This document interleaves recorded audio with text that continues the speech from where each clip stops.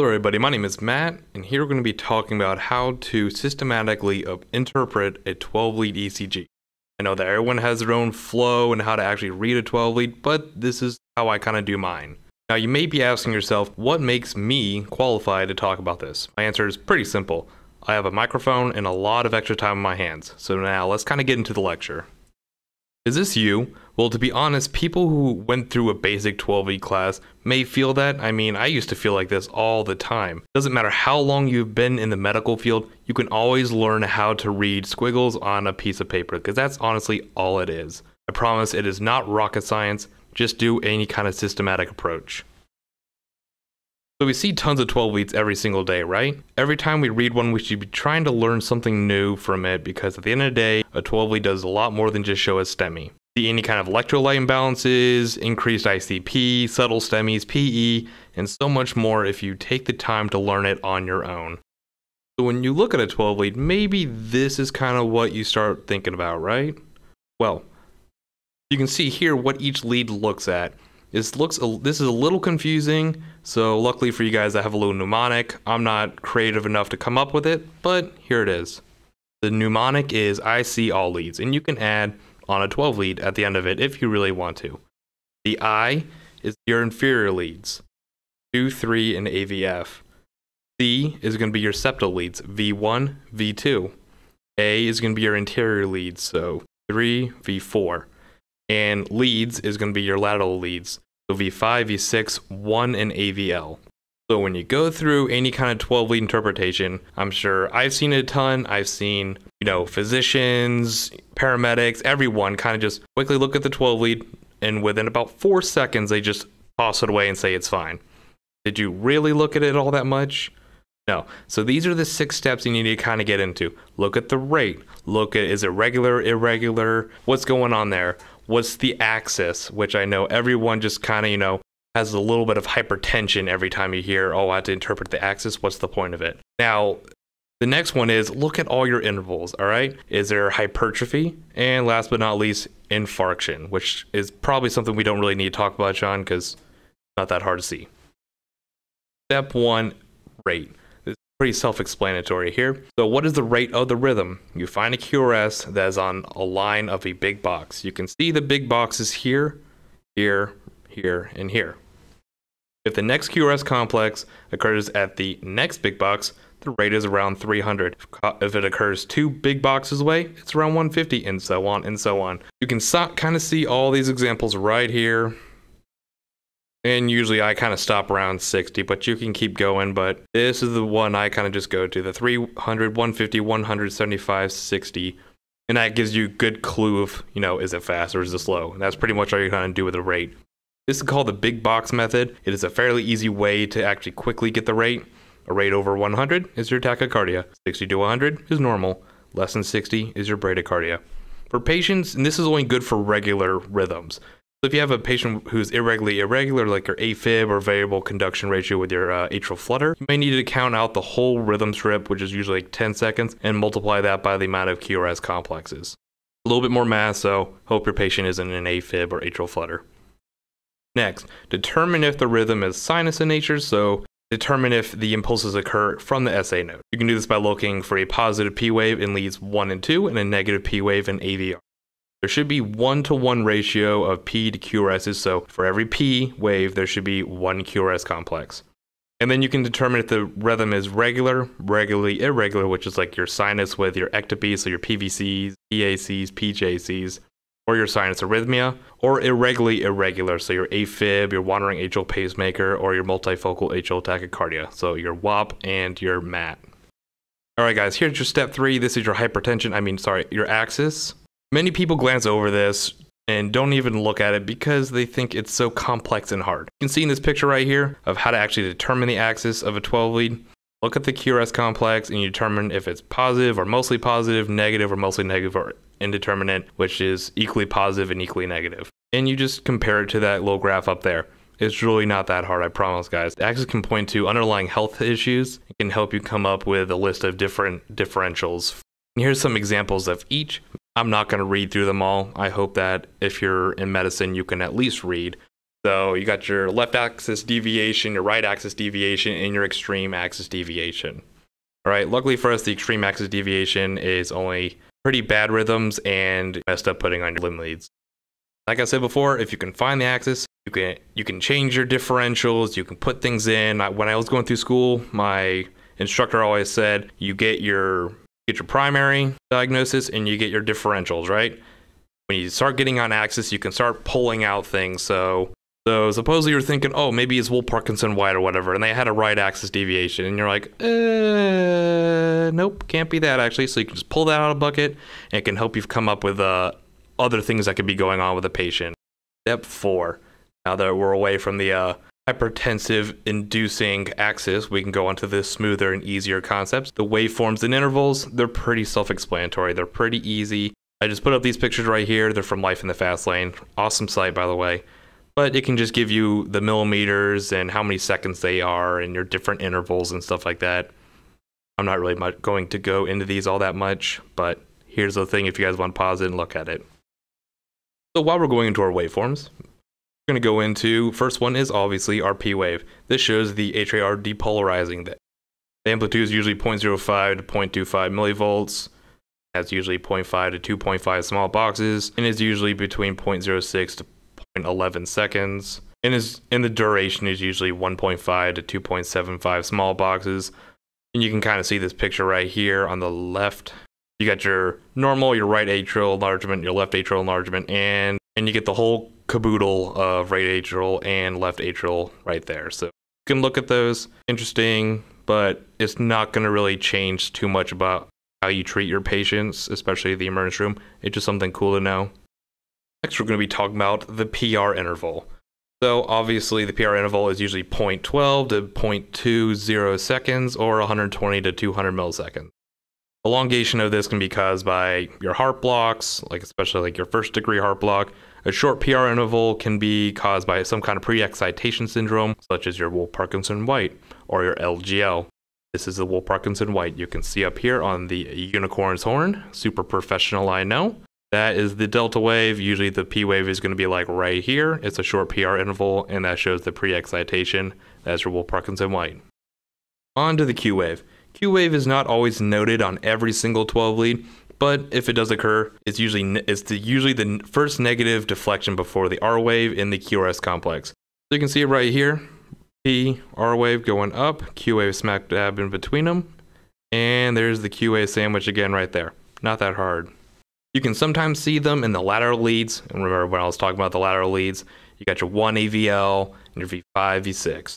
Now, Q waves are somewhat interesting. The normal Q wave is supposed to be small and narrow. There are a few Q waves that you should be aware of, and the first one is going to be your pathological Q wave, which is one small box wide or greater than 25% of the QRS complex. The newer age of electrophysiology and interpreting 12 leads is using proportions. I know, I know. Math, we all hate math. No big deal. It's you can also use some kind of visualization if you want to, or you can plug it into your calculator. It's not gonna I mean, if you want to get more technical, you can. I do just because I'm weird and I'm nerdy like that. But you can also kind of spot it. If you see a really small QRS and a massive Q wave, that should be a big indicator of it. The next one is going to be your dagger Q waves. These are deep, narrow Q waves that can be easily greater than 25% of the QRS complex, but they differ from the pathological QAs like you get from your STEMIs and stuff like that, and the fact that they are not wide. You can look over here in your lateral leads, you get your 1 AVL, but look over here in V4, V5, V6. These are deep, narrow QAs. They are very ominous should kind of remind you of like Michael Myers standing behind you. This is going to be for your hypertrophic obstructive cardiomyopathy patients or your HOCM patients. Usually these are the ones that, you know, your 14 year olds that suddenly collapse and die.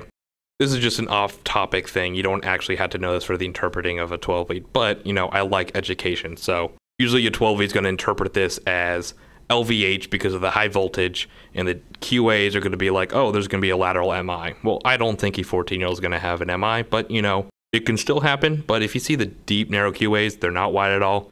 Start thinking HOCM, especially with the high voltage right here. For the QT interval, this is the distance from the Q wave to the end of the T wave. The normal QT interval is about around 400 to 450. Once again, off topic.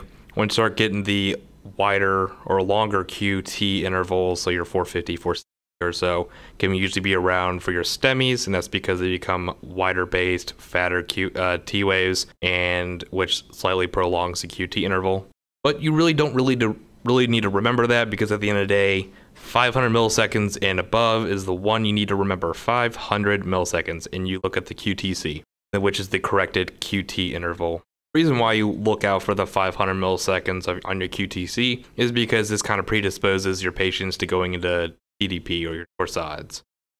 Just remember 500 milliseconds.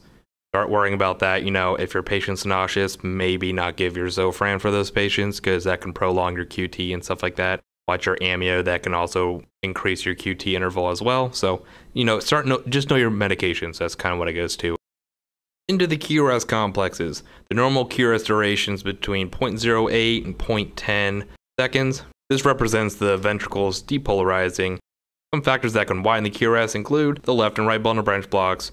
You got your accessory pathways from your Wolff Parkinson White with the bundle of Kent. You got your non-specific conduction delay, I'm sure you've seen that on the doc in the box a couple times. Your electrolyte imbalances, your drug overdoses, your like such as your TCA overdoses and stuff like that, and the pacemaker.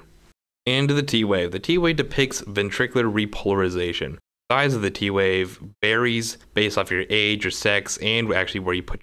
Generally, they're asymmetric in nature. The T wave should be upright in every single lead except for AVR and V1, where it's allowed to be inverted. And here you can see all the things that can alter your T wave. T wave starts becoming more symmetrical, start thinking hyperacuteness, like such as your ischemia and stuff like that. That could be an early sign of a STEMI. Not getting into this. We already have a video on that. But you can see all the ones over here. You got your Brugada, your cerebral T waves, your bundle branch blocks, you know, all that kind of stuff. So, like I said, not getting into that, but there's something you can keep into your pocket Step five is your hypertrophy. Hypertrophy is just a term that basically means that the ventricles are becoming enlarged and thickened. So there's two different types. So you got your right ventricular hypertrophy and left ventricular hypertrophy.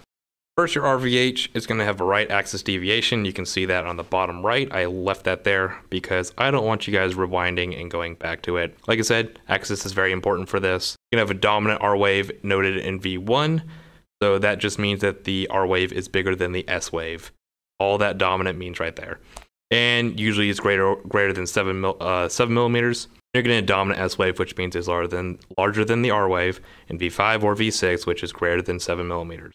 Some additional changes with the right bundle branch block is you can get a strain pattern, which is like a slight ST depression and T wave inversions, which you can see here in this example. There are T wave inversions all the way down here and some minor depression. That's that can be normal for your for your RVH, especially if the patient has a right bundle branch block. Right bundle branch block can cause a little bit of depression in V1, V2, V3. That's the strain pattern for RVH.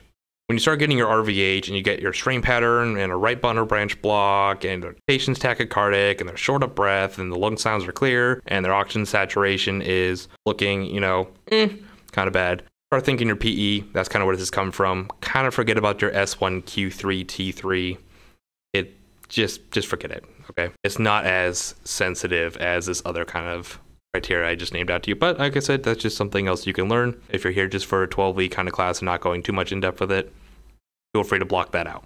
So there is a ton of criteria for diagnosing left ventricular hypertrophy on a 12 lead. But one of the easiest ones is the Sokolov-Lyon criteria which is the S wave depth in V1 plus the tallest R wave height in either V5 or V6.